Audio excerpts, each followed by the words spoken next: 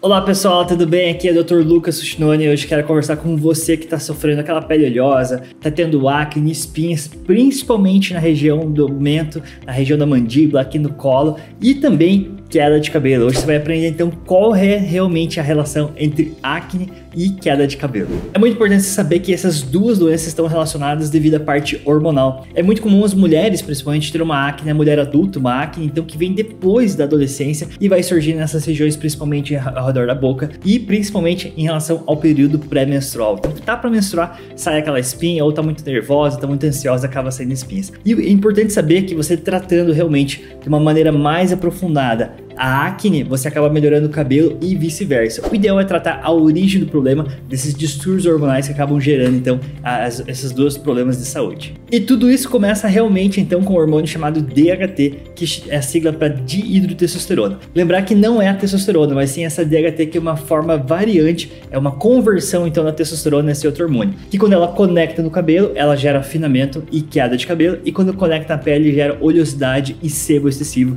que acaba gerando então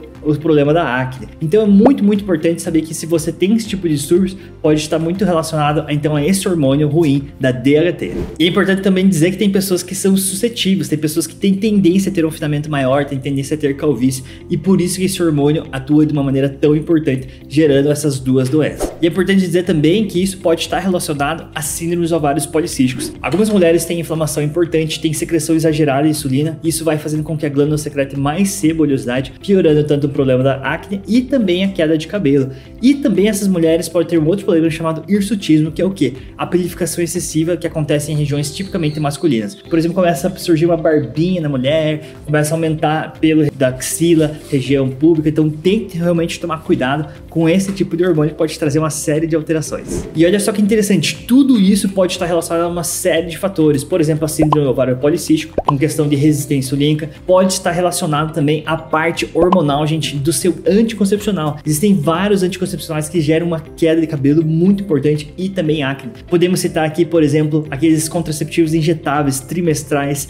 O mensal também é ruim, mesigina, por exemplo. Contraceptivo do dildimirena contém um hormônio chamado levonorgestrel que também aumenta a oleosidade pele é, oleosa e também queda de cabelo e também o chip da beleza. Hoje em dia está muito na moda então o chip de gestrinona, que é um derivado progestágeno que também tem essa capacidade de aumentar a oleosidade da pele e também gerar queda de cabelo. E é muito importante também dizer que às vezes você vai no médico ginecologista para tratar esse problema e ele passa simplesmente para você um contraceptivo, um anticoncepcional. Isso também não trata a origem do problema, tá bom? Nós temos vários outros vídeos aqui no canal que eu falo para vocês a respeito da resistência insulínica, da síndrome ovários policístico, que geralmente leva à questão então de produção exagerada de DHT e aumento de hormônios. Na verdade é um complexo, uma coisa muito, muito aprofundada e é interessante você saber que não é simplesmente um anticoncepcional que vai resolver definitivamente o seu problema. E para as mulheres que adoram ficar apertando espinha, isso é bem importante você estar tá evitando também, tá bom? Toda vez que você aperta aquela espinha, você pode estar levando então bactérias da sua unha para dentro da pele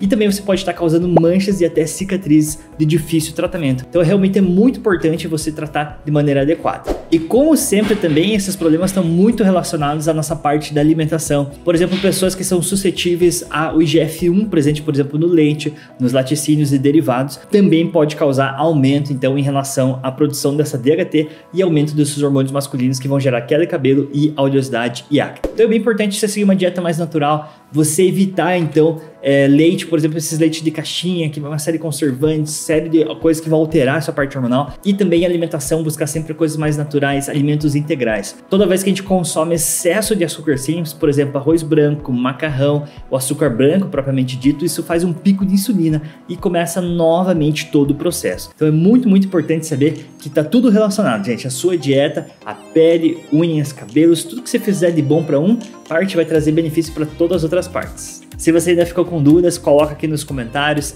Segue a gente aqui no YouTube e no Instagram também, que toda semana tem novidades para vocês, tá bom? Dr. Lucas Fuchinoni, um forte abraço e até a próxima.